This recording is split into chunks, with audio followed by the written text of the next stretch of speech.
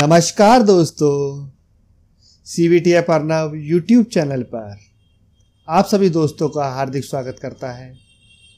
Bharat versus Sri Lanka के बीच तीसरा ODI match जो कि कोलंबो में खेला जाएगा, इस मैच की विनिंग टीम प्रडिक्शन हम अपने सभी दोस्तों के सामने पेश कर रहे हैं। जिन दोस्तों ने अभी तक हमारा चैनल सब्सक्राइब नहीं किया है, वो सब्सक्राइब के बटन पर क्लिक करके हमारे चैनल को सब्सक्राइब अवश्य कर लें। भारत ने तीन मैचों की, जो ओडियाई सीरीज़ है, वो दो ज़ीरो से पहले ही जीत ली है। दूसरा ओडियाई मैच काफ़ी रोमांचक मैच हुआ था। हमने हमारी वेबसाइट www.cbtfarnav.com पर इसका ओपन पोस्ट डाला था।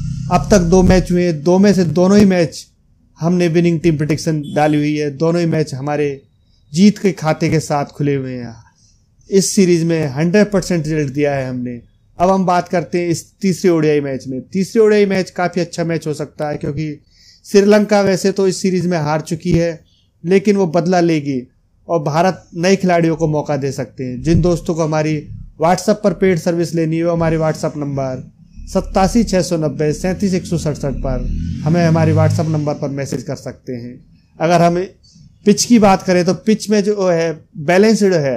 पिच बैलेंस है बैटिंग को भी फ़ायदा हो सकता है बॉलिंग को फ़ायदा हो सकता है। टॉस की बात करें तो इस मैच में जो टॉस है, वो टॉस श्रीलंका शायद टॉस जीत जाए।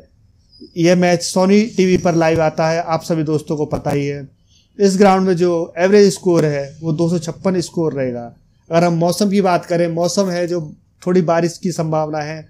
बारिश हो भी सकती है, नहीं भी हो सकती है। अगर हम भारत के अंतिम पाँच मैचों की बात करें तो पाँच में से भारत ने चार मैच जीते हैं, एक मैच हारा। वहीं श्रीलंका की अगर हम बात करें तो। पाँच में से पाँचों मैच हारे हैं। अगर हम सेशन की बात करें, दस ओवर सेशन और पचास ओवर सेशन दस ओवर सेशन और पचास ओवर सेशन अगर श्रीलंका पहले बैटिंग करता है तो दस ओवर का स्कोर है जो सैंतीस से पैंतालीस के बीच हो सकता है। अगर आप लोगों को एग्जैक्ट सेशन की रिपोर्ट्स लेनी हो तो हमें हमारे व्हाट्सअप नंबर पर हमें मैसेज करके हमारी प्रीमियम सर्विस ले सकते हैं।